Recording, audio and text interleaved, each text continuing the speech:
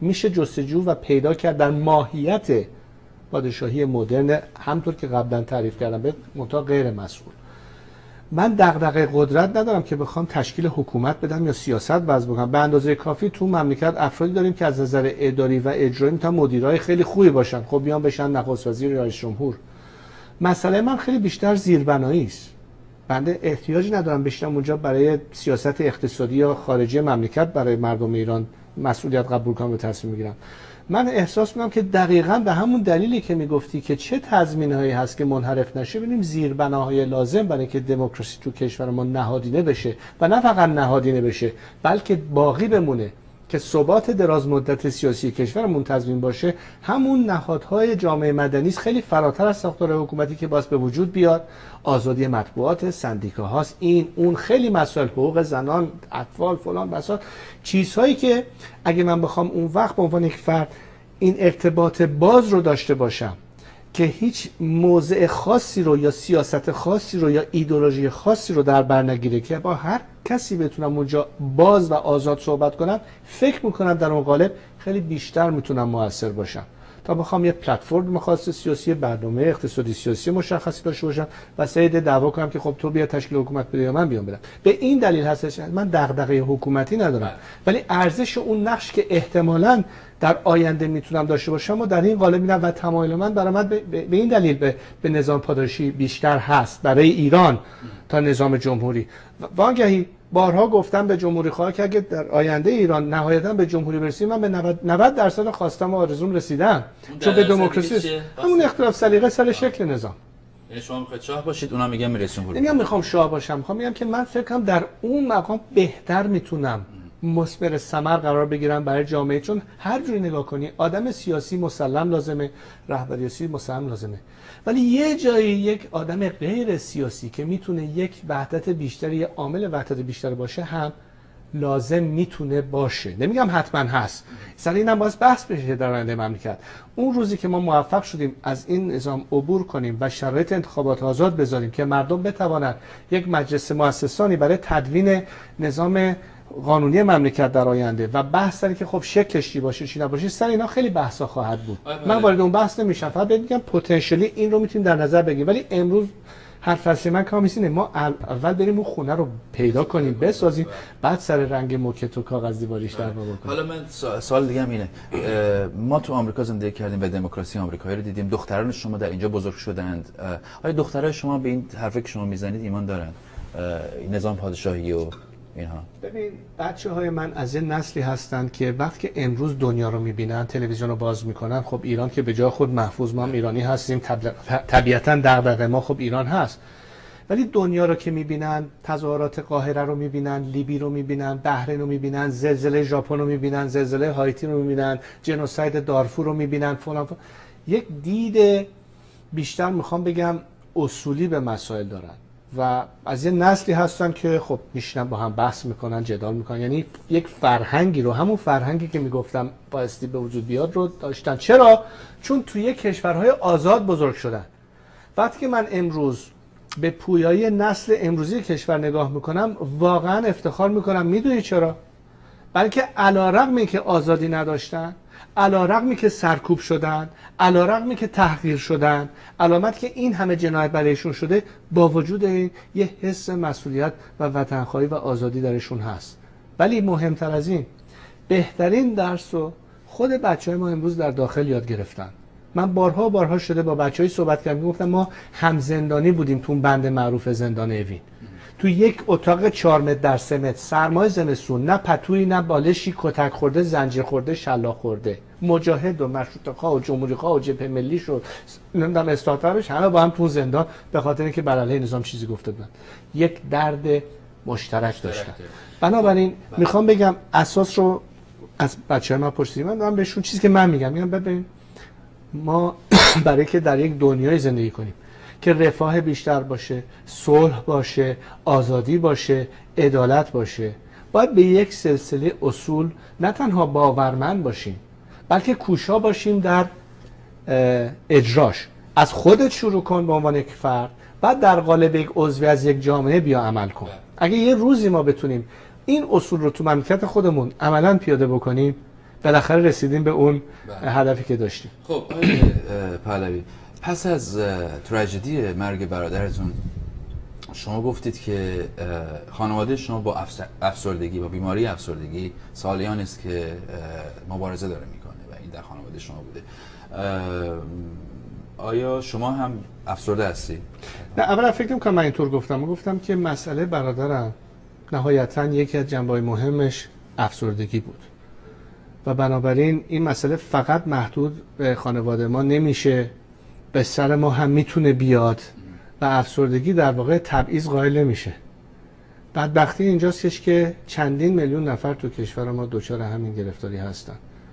بهت بگم کامبیز جان همین بچه‌ای که آخرین ردیف این به اصطلاح پناهجویان هستن که از زمان همین جریان انتخابات یه سال نیم پیش الان تو کمپ های آوارگی تو نمی‌دونم اربیل و تو ترکیه و تو عراق بعضیش رو خودم باشون صحبت کردم تلفنی. یعنی تقریبا می‌خوام بگم از ده نفر نه نفرشون افسرده هستن و محتاج مداوای آنی با این افسردگی. بعضیشون حتی می‌خوان دست به انتحار بزنن. بنابراین می‌دونید من نمی‌تونم بگم که چه عواملی است که یک نفر رو می‌کشه در جهت افسردگی.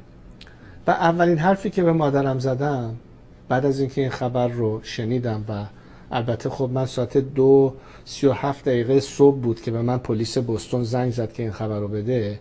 منتظر شدم تا اون ور خط مادرم بیدار بشه تا بهش بگم داستان چی بود. و نمی‌دونم تو همون صحبت صحبت بعدی گفتش که من یکی آلاله ها هستم نگران نباش. البته خب خیلی مشکل بود. نه به شما. می‌دونی چرا؟ برای که من از روز اول نگاه هم همیشه نگاه مثبت بود به مسائل. این لیوانو من نصف پر می‌بینم نه نصف خالی. و اصلا دوست دارم یک برخورد مثبت با مسائل داشته باشم. آدم سینیکی نیستم آدمی که خیلی راحت می‌تونستم بدبین بشم. خیلی راحت می‌تونستم بگم حالا چه کاریه؟ به خیلی می‌تونستم بعد از تمام برخوردهایی که شد بگم من دنبال کار زندگی اما وقتی تو در وجدان خودت در ماهیت خودت یک هدفی هست که حاضری جون تو در راهش بذاری. زنده بودن برای رسیدن به این نتیجه است بله. که به تو اون شوق و اون باور و اون هدفمندی رو میده. آدم باید تو زندگیش یک هدف و منظوری داشته باشه. حالا هرچی یکی می‌خواد بره دکتر بشه یکی می‌خواد بره محقق بشه. ما هم این قرعه به ما افتاده به نسل ما و نسل امروز که قلب از هر چیزی برای آزادی مبارزه بکنیم. ولی که بدون اون آزادی نه به هویتمون می‌رسیم نمی‌تونیم واقعا دنبال آرزوهای واقعی که داریم نهایتا برسیم. این یه انگیزه باست داشته باشه. بنابراین من از روز اول این رو به عنوان یک چالش در زندگیم دیدم. نه که خودم درش زینف باشم. من برای خودم واقعا هیچی نمی‌خوام. باور کن هیچی نمی‌خوام کام من برای مملکتم می‌خوام. چرا؟ برای که اون تاریخ اون فرهنگ اون عظمت کشوری که الان دنیا پوز میده که ما متمدنین شما تروریست. می‌خوام بگم آقای امریکا که اصلا وجود خارجی نداشتی موقع که ایران کوروش کبیرش اومد و برده های کلیمی رو در بابل فتح کرد و آزاد کرد. حقوق بشر از ایران صادر شد. ما چیز وارداتی در این ارزش ها نداریم. ولی وقتی که پرچم نظام جمهوری اسلامی در مقابل سازمان ملل در احتزاز هست سازمان مللی که در اون تالار کشورها می‌تونست از همه گونه تمدن یا شاعر یا فرهنگی جهان انتخاب بکنه یه شعر سعدی هست و لوحه کوروش کبیر. این برای من مایه افتخاره وقتی که احمدی نژاد نوعی میاد اونجا اون چرندیاتو میگه به نام مردم ایران که واقعا جای خجالت داره. من دنبال این هستم که این مردم برگردن به اون غرور افتخاری که داشتن. نه که مغرور باشن. بله. ولی غرور داشته باشن. من دو تا سوال دیگه دارم وقتمون داره تمام میشه. سوال حتما 20 تا سوال دیگه دارم ولی خب دو تا سوال مهم خب دیگه نیم ساعت برنامه متأسفانه کافی نیست دیگه. خب پهلوی جنبش سبز یک جنبش ضد حکومت مطلق است. یعنی وقتی شعار مرگ بر دیکتاتور میده یعنی با حکومت مطلقی خوب نیست. و طبیعتا نباید با سیستم سلطنت سنتی اونجوری هم خوب باشه. توی بیانیه های جنبش سبز ما نمی‌بینیم جایی که صحبتی شده باشه که حمایت بکنن از شما یا طرز تفکر شما. چطور شما جنبش سبزی ها رو حمایت کردید در تمام این مدت؟ ولی اونها هیچ وقت پرچم شیر خورشید دستشون نگرفتن و به عبارت دیگر چگونه می توانید با جنبش سبز همراه باشید وقتی سبزها با شما همراه نیستن؟ اولا پرچم شیر خورشید پرچم ملی ماست.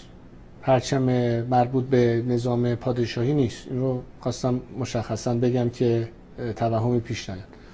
دوم اینکه من با خیلی از نمایندگان این نهضت در این سالهای اخیر سر و کار داشتم. یعنی بخوام بگم در همین یک سال همین یک سال و نیمه که گذشت بذار دوباره من سال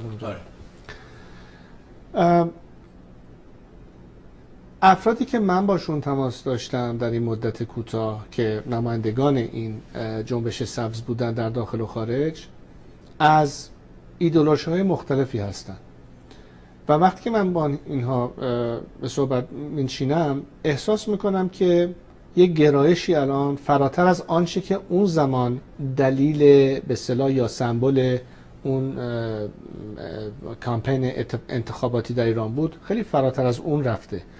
و الان فکر می‌کنم یک دوراهی است که بهش رسیده که بالاخره در باب سکولاریزم یا باید به یک نتیجه دموکراتیک رسید یا همچنان اصرار کرد مثل اصلاح طلبانی که همچنان احساس می‌کنن که با اصلاح قانونی این حکومت میشه ذره ذره از این حالت حاکمیتش در این هم یه بحثی است که به حال هست و فکر می‌کنم که امروز خیلی بیشتر گرایش به سمت یک راهکار سکولار هستش و در اینجا یک اجبارا یک شکافی خواهد افتاد در این موقعیت. حالا باید دید که اکثریت واقعا در چه جهتی پیش خواهد من معتقدم که در باب سکولارش خواهد بود. این یک موضوع. مسئله دوم خب مشخصا من بهت گفتم که اگه قرار باشه یک نظامی که به همون حالت حکومت فردی بیاد حالا چه پادشاهیش چه جمهوریش من اولین کسی هم که در مقابلش ایستادگی خواهم کرد. این فرض این که نظام پادشاهی به همون فرمی که در گذشته بوده هستش که ما صحبتش می‌کنیم اصلا نیست. و کسانی که اعتقاد دارن به اون فرم نظام به فرم مدرنش اون کسانی هستن که باورمند هستن به یک نظامی که کاملا مس... همراه هست با اصول دموکراتیک همطور که مثالش رو بزنم. بنابراین چطور ممکنه خواهان این باشم و مدلی رو از حکومت پیشنهاد بکنم که اینه که جنبش سبزی ها موافق نیستن با شما. یعنی به خاطر که به نظر من شاید به اندازه کافی آره. شاید به خاطر که شما تحریم کردید انتخابات رو. بعد گفتید که رای ندید انتخاب بعد شروع شد بعد گفتید که آره منم هستم. شاید به این علت باشه من بهتون میگم چرا از روز اول گفتم. گفتم این رای که شما می‌خوان بدین باید ارزش داشته باشه. حکومتی که ارزش قائل نیست برای رایت درش رای دادن یعنی در اصل از دست دادن اون ارزش رایت و استفاده اون نظام که بخواد به خودش ادعای مشروعیت بده که بگه ببینید رای گرفتم. خب آقای صدام حسین هم میومد رای گیری می‌کرد 99 درصد آرا می‌گرفت. در حکومت شوروی هم می‌گفتن انتخابات هستش. آیا به مفهوم این هستش که نتیجهش دموکراتیکه یا ماهیتش دموکراتیکه نه. آخه آدم موقعی میره رای میده که رایش محترم باشه. شما وقتی که حق نداری کاندیدای خودت رو انتخاب بکنی. وقتی که از صد خورده نفر کاندیدا سه یا چهار نفرشون رو اجازه میده رژیم که از صافی خودشون رد بشه از ابتداش اصلا مسخره بازیه. میگم شما چرا می‌خواین بیاین به دست خودتون اعتبار بدید به انتخاب؟ حالا بگذاریم اون خب اون یه بحث بحث دیگه اینه که اگه انتخابات نمی‌شد اصلا اینجوری نمی‌شد. بله. اگر انتخاب انتخاباتی نمی‌شد هیچ وقت شروع نمی‌شد و ما اصلا ملت این فرصت رو نداشتن که بله، بیان خب صداشون رو برسونن به جهان. بازی انتخاب بین بد و بدتر یه وضعیتی بود که دوران خاتمی هم دیدیم و بعدم نهضت 18 تی رو دیدیم و بعد نتایجش که رسید تا جایی که امروز هستیم. به هر حال میگم یه مرحله ای که همه چیز طی نمیشه. دلیل داره که همین تجربیات آموخته است. همین سر به سنگ خوردن هاست که بالاخره به نتیجه گیری نهایی می‌خوایم برسیم. عزیز من با یک اصلاح طلب دعوای شخصی ندارم.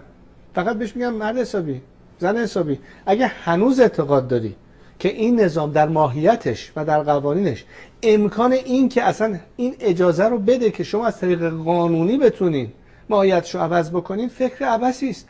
جوابش کهریزکه جوابش اعدام هاست. کامبیز جان از اول سال مسیح تا کنون بالای 160 نفر تو کشور اعدام شدن. همین امروز گزارشش اومد. که یه عده به اعتراض این که می‌خواستن 15 نفر رو اعدام کنن شورش کردن 150 نفر در جای رژیم کشته. هنوز می‌خوایم بریم دنبال اصلاحش؟ نمیشه عزیز من. باز بالاخره به یک نتیجه برسیم که آخرش به کجا می‌خوایم برسیم. و فکر می‌کنم این گذر از این نظام الان دیگه کاملا مشخص شده. حتی برای آقایونی که در دستگاه هستن. البته من نمی‌دونم که آیا این باور رو دارن و اگر دارن می‌تونن بیانش بکنن در این شرایط یا نه. اون رو به عنوان یک فرضیه می‌تونیم تلقی کنیم. این جوابش یه روزی شاید در خواهد